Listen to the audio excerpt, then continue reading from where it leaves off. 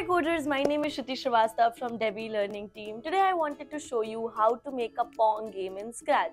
This is a type of game where you have a paddle and you are trying to stop a certain object from hitting the bottom of the screen. And yeah, by the end of this tutorial, you'll be able to make your own game like this where you can design it however you want. And I'll show you how to add multiple levels and more. So without any further delay, let's get started with the video. So first, let's pick the object that's going to be bouncing around in your game. You can just click this button that says choose a sprite option and click choose. And you can pick any object that you want. It could be a heart or a puffer fish or a star or really anything. Maybe I'll pick a ball and I'll do that. Oh, now let's select a backdrop too. You can hover over this button that says choose a backdrop and click choose.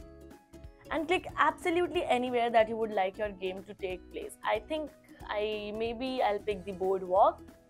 Now let's make this object move. In the motion category, you could drag out this block, move 10 steps and by clicking on that, the object will move. Let's see what happens if we put this block inside a forever loop. So I'll go to the control category and drag out a forever loop. And now if I put the block in here, the ball just goes forward, you know, infinitely until it hits the wall and it gets stuck. So to make it not get stuck on the wall, you can go to the motion category and there's a block if on edge bounce. So if you put this block in the forever loop, the ball where it hits the wall, it realizes, oh, I hit an edge. So it bounces. So we have got it bouncing back and forth. But how can we make it bounce all over the screen so it's not just in the one line? In the motion category, there's this block point in direction and you can use it to set the direction that the sprite is pointing in. And right now the sprite is pointing in direction 90 and that's straight this way. Let's try putting in another number like 45. So now the ball is pointed at a 45 degree angle and now it's really bouncing around everywhere. And I'll put a when green flag clicked block on top so that we can make it start by clicking the green flag. You can also try putting a different number in here like 15. So now we have got our object bouncing around. Let's add a paddle. You can click on choose a sprite again and pick any object you want. It will be little bit easier if that object has a flattish top of some kind but you can still pick anything. We also do have this paddle sprite that you can use and I'll use that one. So let's make it so that when the player moves the mouse left and right, the paddle moves with it. How can we make the paddle go to certain position between the left side of the screen and the right side of the screen? Well, in Scratch, you might already know, but X, this number represent how far a sprite is from the side of the screen to that side.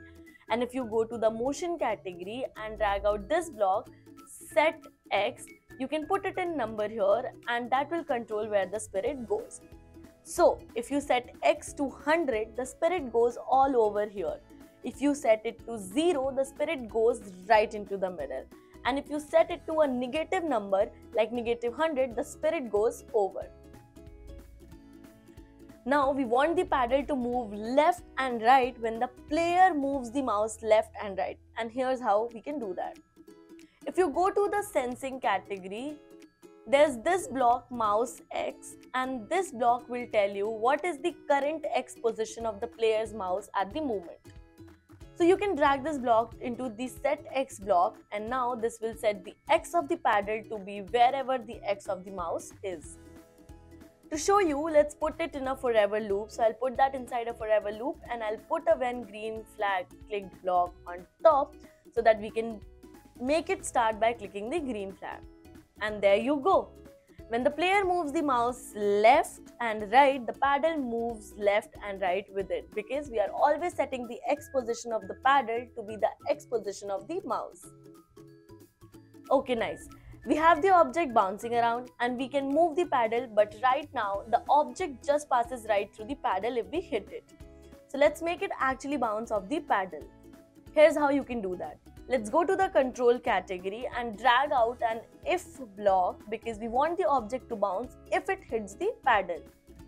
So how could we tell if the object hit the paddle? Well, in the sensing category, there is this block that can check if one sprite is touching another sprite. So we can drag this block and click and choose paddle from the menu. And now if the object connects with the paddle, what do we want it to do? What code should we put in here? Well, we want it to bounce. Before there was that if an edge block, but there's no if on paddle bounce block. But what is bouncing? It's basically turning in the opposite direction and then moving in that direction. So here's what you can do. You can go to the motion category and pick out this turn block and have it turn 180 degree because 180 degree is half of a circle. So if you turn that many degree, you will go to the opposite direction from where you were going. And then after it turns, let's have it move a bit in this new direction it's going. So you can drag out a move block. Maybe I'll have it move 15 steps so that the ball moves a little bit away from the paddle after it's been bounced. Now let's put a green flag block on top and see if it works. Okay, so I hit the ball with the paddle but it did not bounce. And here is why it's not working. We need to put this if block inside a forever loop so that the ball is always checking every second. Did I hit the paddle? Did I hit the paddle? Because right now, if it doesn't have a forever loop around it, when the green flag is clicked, it checks one time. Am I hitting the paddle right now? Nope. Okay, I don't need to do this code anymore. So let's put this inside a forever loop and now there we go. We can actually bounce the ball with the paddle. And one other little thing, I'll add, I'm gonna put a wait 0.5 seconds block in here after it moves so that we'll have it to wait and let it move away from the paddle a bit. Also, if you want to add some randomness to the way it bounces, you can go to the operators category and drag out this block, pick random and instead of having the ball turns 180 degree every time, it could turn somewhere between 170 or 190 degree and now it will be a little different each time it hits the ball. Okay, so we can hit the ball with the paddle, but nothing bad happens to us right now if we don't hit the ball and it just goes to the bottom of the screen. Let's make it so that the game ends if the ball hits the bottom of the screen. Here's how you can do that. We have this line sprite in the sprite library. So if you click and add that to your project, you can drag it to the bottom of the screen. Now let's make it so that if the ball ever touches this line that's under the paddle, then the game ends. Let's say if the line sprite makes connect with whatever object you have picked, so I'll pick the ball from the menu, have it stop all.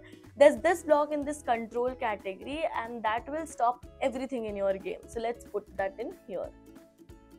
And just like before, we need to put a forever loop around this so that the line is always checking if connected with the object.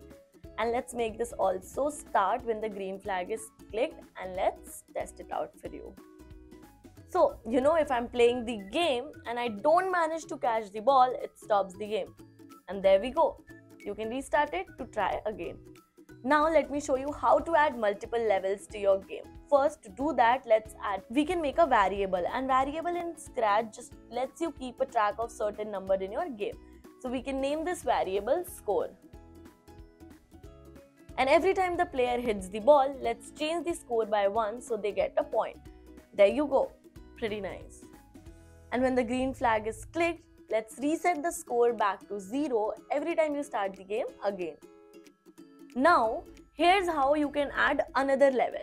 After you set the score to 0, you can use this block and wait until the score is greater than, let's say, 5. So this block will so this block will make the project wait until this thing happens before it does the next block you put under it. So this block will make the project wait until this thing happens before it. To make it go to another level, get let's go to the next backdrop. You can add another backdrop to be where the second level is. You can have the second level be anywhere you want. Now, when you get 5 point, it goes to the next backdrop to the next level. Also, let's add a block up here and switch the background to the first background we want it to start at. So I'll switch it to boardwalk and that will sort of set your beginning level. And yeah, there you go. That's how you can make a Pong game on Scratch. Now, there are so many things you can do with this game and you can add and yeah i'm really excited to see what kind of games you make on your scratch so don't forget to tell me in the comment section what was the best part about creating this game on scratch and until i meet you guys again